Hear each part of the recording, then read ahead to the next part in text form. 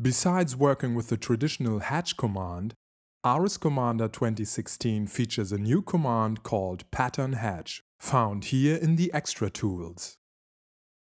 This command allows us to create a custom hatch based on blocks, images, external references or masks.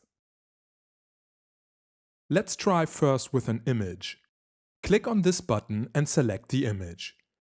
This is an image representing elements which size in real life is 100 by 100 centimeters. Click Open. To insert a hatch, we need an enclosed area or a closed shape.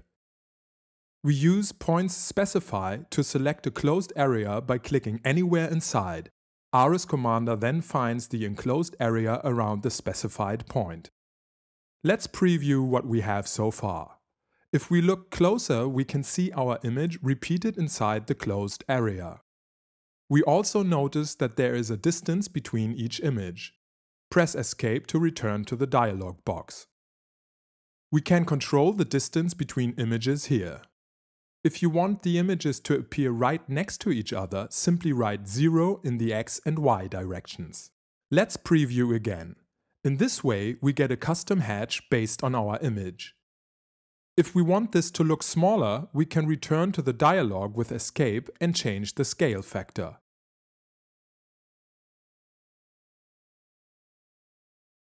If we are satisfied with the result, we click the right button to end the command. Now let's see how it works with a block.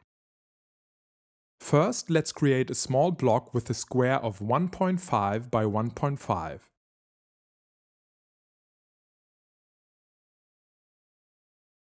Here inside we do an offset of 0.2 and another of 0.1.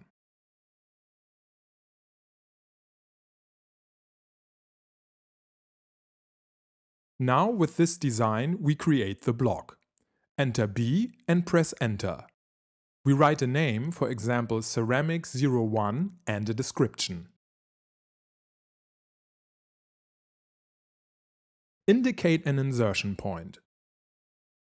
The unit will be meters. Select the objects that belong to the block.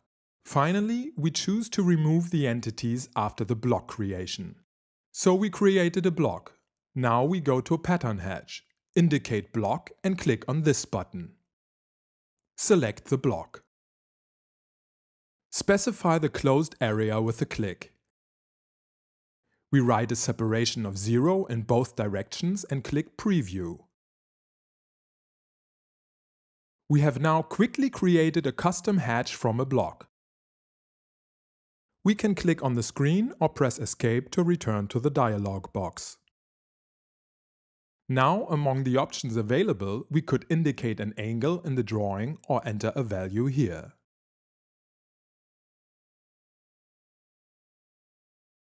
Note that among the available options of Pattern Hatch, we have the ability to enter a name and save it as a favorite, for later reuse in the drawing. Finally, we can control the point of origin. And we can even set the tolerance value in the areas enclosed by curves.